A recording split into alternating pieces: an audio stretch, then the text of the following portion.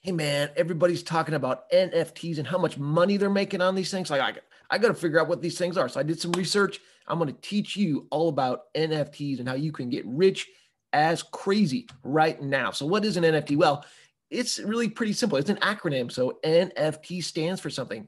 Uh, it's just like it sounds. It's a non-fungible token. Uh, now, what we're going to do is we're going to break that down. Kin, as you might know, means related. All right toe. Everyone knows what a toe is. Uh, and so you've got a you've got a toe kin. So that's basically it's not really a toe, but it's related to a toe. All right. Everybody knows what fudge is. There's some fudge right there. I like some fudge. But here, but this is fudgeable. So that means it's the ingredients that could be turned into fudge. You get your chocolate, you get your milk, you get your butter. That's fudgeable. These are fudgeable ingredients.